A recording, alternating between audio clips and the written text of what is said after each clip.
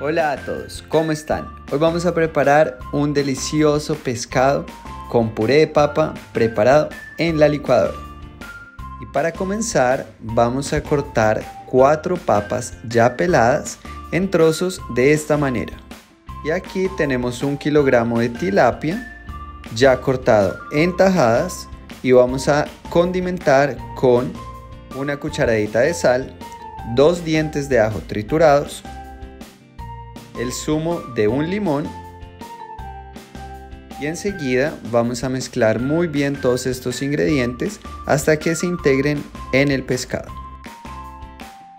A continuación vamos a reservar y mientras tanto vamos a colocar las papas que cortamos anteriormente en una licuadora.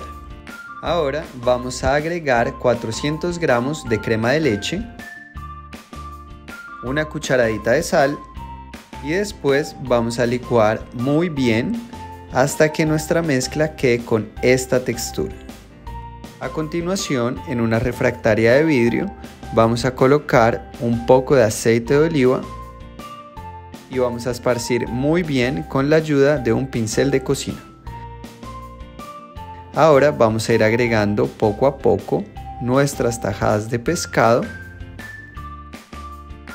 y vamos a finalizar colocando la mezcla que licuamos anteriormente.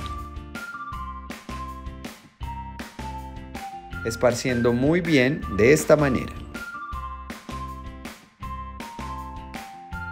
Hecho esto, vamos a agregar queso mozzarella rallado al gusto por encima esparciéndolo muy bien. Después vamos a llevar al horno precalentado a 180 grados durante 40 minutos. Recuerden que este tiempo puede variar porque la potencia de cada horno es diferente, así que deben ir revisando. ¿Está bien? Y aquí ya ha pasado el tiempo, nuestro delicioso pescado está listo. Vamos a colocar al final y por encima un poco de perejil fresco para darle un toque muy especial a nuestra receta. Ahora solo debemos servir y deleitarnos con este delicioso sabor. Preparen esta receta en sus casas y después cuéntenme en los comentarios cómo les pareció. Como siempre, nos encanta tenerlos con nosotros. Les mando un beso grande y nos vemos en nuestra próxima receta. Adiós.